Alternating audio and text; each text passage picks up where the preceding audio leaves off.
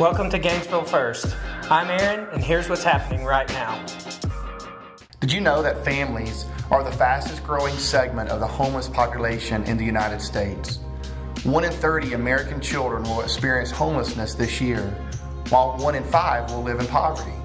Gainesville First partners with Family Promise to bridge the divide between homelessness and sustainability for families in Hall County.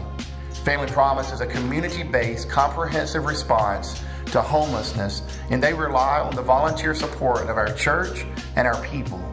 After modern worship on Sunday, August the 25th, we will have a meeting about ways you can get involved and make a difference in the lives of homeless families in Hall County.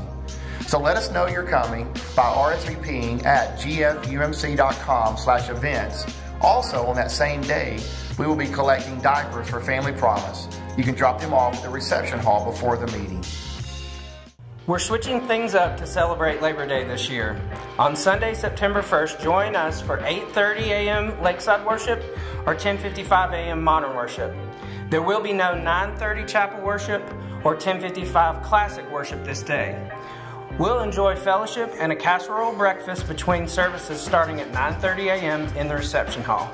Now, we do need some help to make this happen, so check gfumc.com forward slash events for full details and to see how you can help.